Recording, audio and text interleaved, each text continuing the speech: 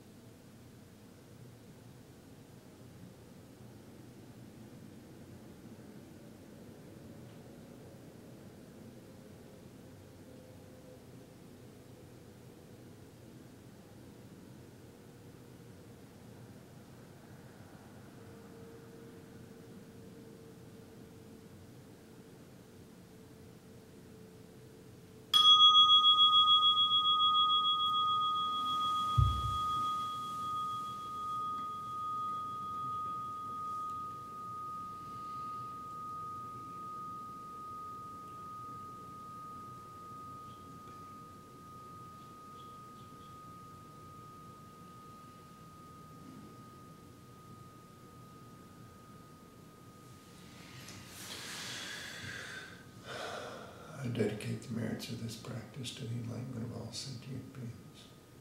May God bless us and keep us and give us peace.